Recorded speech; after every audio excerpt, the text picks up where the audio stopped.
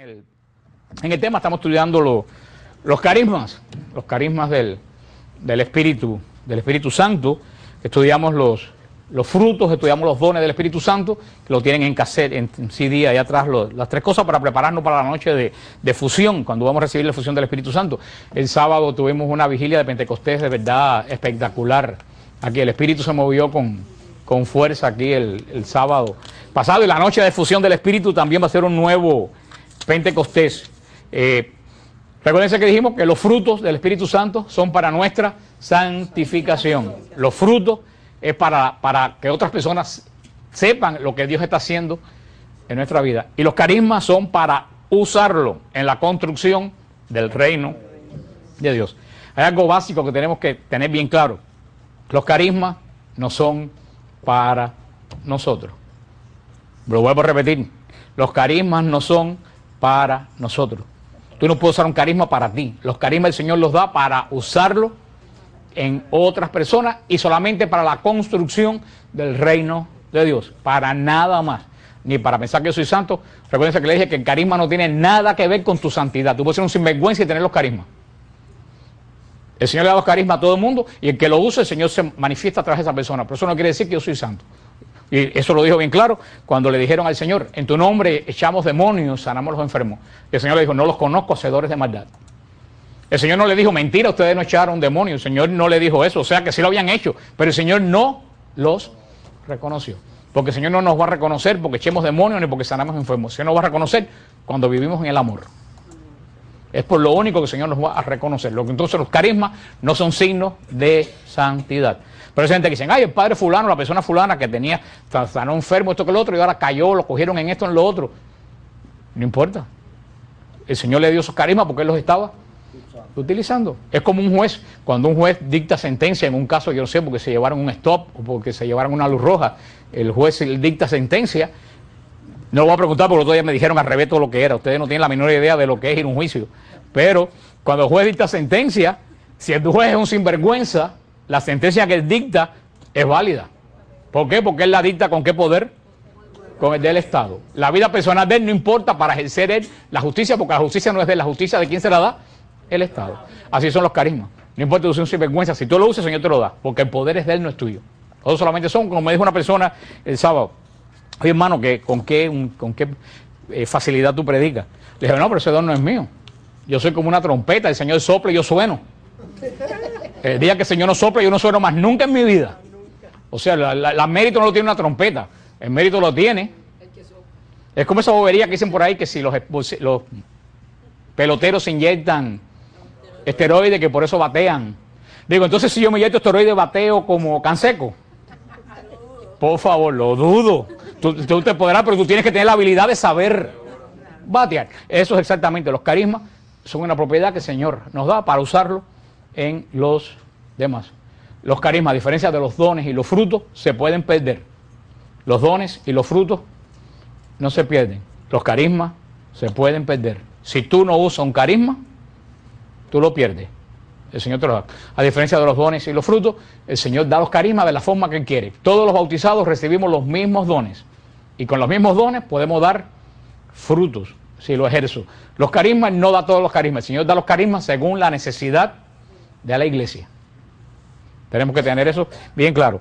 El primer carisma, ustedes van a ver que los carismas se parecen a los dones, pero con una gran diferencia. Los dones son, no, los dones son para mí y los carismas para usarlo en los demás. ¿Con qué objetivo? Construcción del reino de Dios. No para coger fama, no para que digan, mira fulanito las cosas que, ¿Qué hace? Primer, el primer carisma es, la palabra de sabiduría, el don, el carisma de, sabiduría. Eh, ¿Qué cosa es el, carisma de sabiduría que nos dice el Señor? El don de sabiduría, recuérdense lo que es el don de sabiduría, apropiarnos, el don, apropiarnos de los hábitos de Dios. Ahora, el carisma de sabiduría es el don, ese don que nos, porque es un don, el carisma es un don, ese don que nos da el Espíritu Santo para indicarnos a nos, cada uno de nosotros cómo actuar en cada ocasión, siempre y cuando no como actuar yo, cómo actuar delante de una situación que se me presente referente a quién, a los hermanos. No es el don, de, el don de sabiduría es para mí, estamos en el carisma de sabiduría.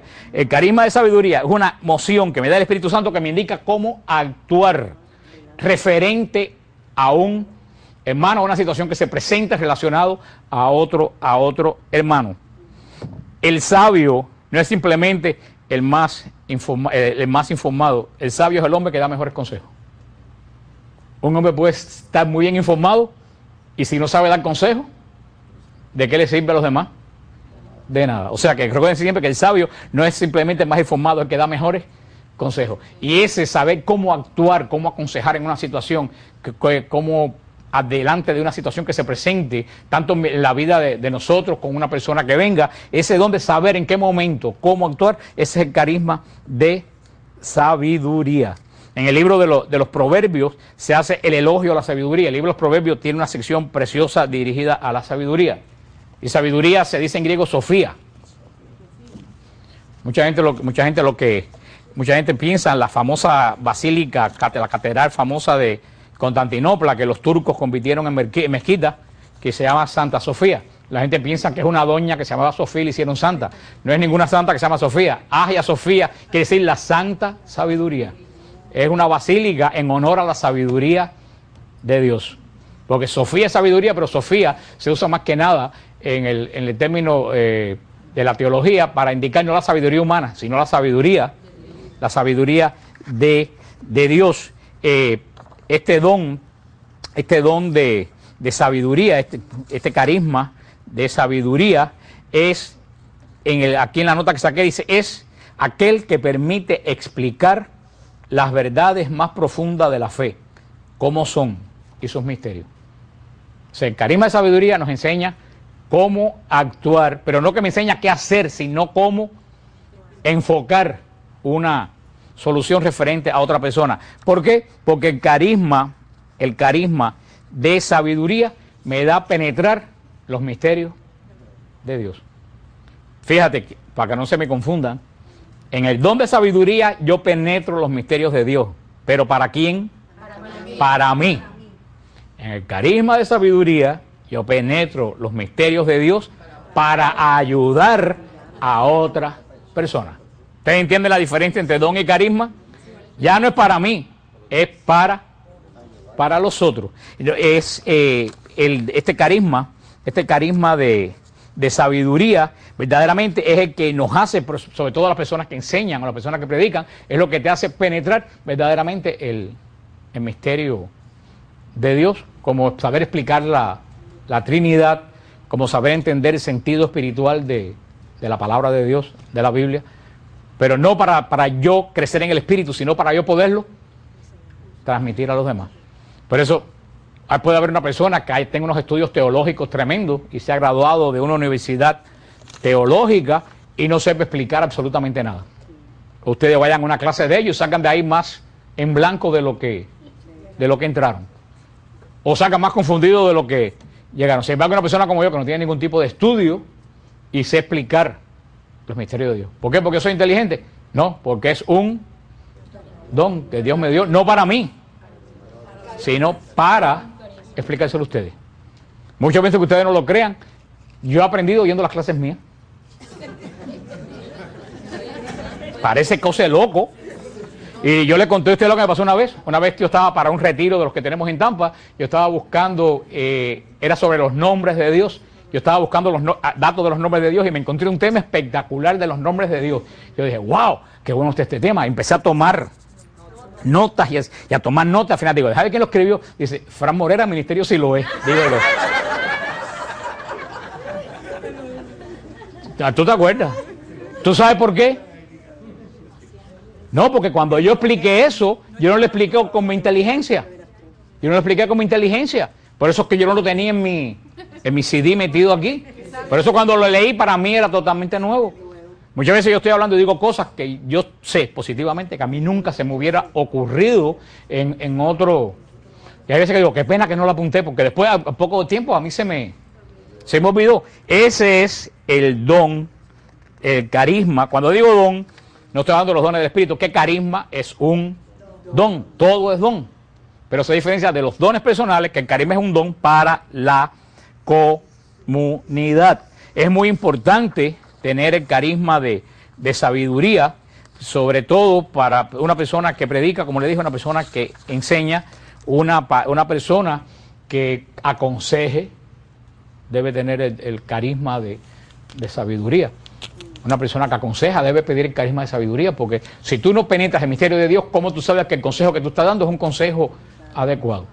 Por eso que hay tanta gente, inclusive sacerdotes y religiosos y religiosos, que a veces quedan unos consejos que uno se queda loco. Dice, pero ¿por qué? Porque da el consejo basado en lo que estudió, no lo que el Señor le está, no lo que el Señor le está revelando. Y yo prefiero confiar en lo que el Señor me revela más que en lo que yo estudio. Porque tú puedes estudiar una cosa, pero cada ser humano es un mundo diferente. Y lo que yo le a una persona no se lo puedo aplicar a, a otra porque no estamos hechos en serie. El Señor no hizo a nadie en, en serie. Por eso el don de sabiduría, el carisma de sabiduría, es muy importante que nosotros lo, pidamos. Inclusive es muy importante que lo pidamos para saber cómo yo manejo un matrimonio desde el punto de vista cristiano, porque ya no es solo para mí, sino para manejar la situación mía con otros desde el punto de vista de cristiano. Carisma de sabiduría, cómo manejar la familia, los hijos. O sea, y dice decir para un ministerio. Yo siempre digo que una persona sin el don personal de sabiduría es una brújula sin rumbo. Y un dirigente de una congregación o de un ministerio de un grupo sin el carisma de sabiduría es un peligro. Es un peligro, porque va a estar continuamente de un mal paso y no es que sea malo. Por eso todas las personas que, dirigen al grupo necesitan pedir el don de sabiduría. Dice, les saco unos datos que saqué. El mensaje de sabiduría, definición, la habilidad de buscar y aplicar la verdad de Dios a la vida. Habilidad de buscar y aplicar la verdad de Dios a la vida. Por revelación divina, declarando los pensamientos y planes de Dios como ayuda para manejar una situación particular. Es lo mismo que le acabo de decir, pero hecho de una forma más, más fina ejemplo de sabiduría en el Antiguo Testamento. Si no, me dicen esa, cierro el ministerio y me voy. Salomón. Salomón es ejemplo de sabiduría en el Antiguo Testamento. Cuando vinieron aquellas dos madres fajadas por, por el hijo, Salomón usó un criterio de sabiduría divina. Vamos a partir el niño en dos. Es una locura. Pero la, la madre de verdad dijo, no. Y él dijo, esa es la madre. Eso es un ejemplo de sabiduría. Eh, en el Nuevo Testamento, por, supuesto, en el Nuevo Testamento no tenemos ni que hablar. La sabiduría encarnada es el, el mismo Jesucristo. Dice, esto es la misma base de nuestra aproximación a otras personas en el ministerio. Sin el don de sabiduría de Dios nos encontraremos entrando en situaciones a ciegas, haciendo juicios erróneos, haciendo acciones precipitadas e impertinentes. Y lo más probable, dejando una estela de malentendidos y daños. Se lo voy a repetir, porque esto es muy sabio. Dice, en un ministerio, una persona sin el don de sabiduría de Dios, nos encontraremos entrando en situaciones a ciegas. Y nada más terrible una persona que dirige y eso me lo puedo aplicar yo que dirijo este ministerio, pues se lo pueden aplicar ustedes cuando ustedes tienen a cuatro o cinco personas que ustedes tienen responsabilidad sobre esa persona. Dice, se entra en situación a ciega. Si tú no tienes la sabiduría de Dios, ¿cómo tú vas a poder enfrentar una situación? Dice, haciendo juicio erróneo. Peor todavía, cuando tú haces un juicio y el juicio que hiciste está equivocado haciendo acciones precipitadas e impertinentes. Eso es funesto. Hay personas que actúan, hay personas que echan a andar la lengua antes de conectar el cerebro. Ejemplo en el Nuevo Testamento, antes de Pentecostés, ¿quién echaba a andar la lengua antes de conectar el cerebro? Pedro. Aunque todos te nieguen, yo no. Cristo le dijo, mira a ver lo que va a pasar hoy antes de que cante el gallo. O sea, muchas personas y eso, y eso, eso es terrible. En un ministerio, alguien que dirige, hablar, hablar precipitadamente. Dice, la persona que habla precipitadamente dejan una estela de malos entendidos. Y eso es mortal para la iglesia. Un mal entendido. Por eso muchas veces uno tiene que, sobre todo las personas que dirigen, y ustedes, ya ustedes de cierta forma, ustedes tienen que tener pedir ese don. Porque ustedes no lo crean, mucha gente van a venir ustedes a pedirle algún consejo ante una situación. Porque a lo mejor la gente se ríe y dice que tú eres fanático o fanática y que tú estás loca o loco como una cabra, pero cuando tienen un problema, vienen cuando tú, vienen cuando está el loco o la loca, a preguntarle qué hacer o pedirle oración. Entonces tú tienes que tener el carisma de... Porque tú dices, no, eso es para los que dirigen. No, ya desde que tú te metes en las cosas de Dios, más vale que empieces a caminar en sabiduría.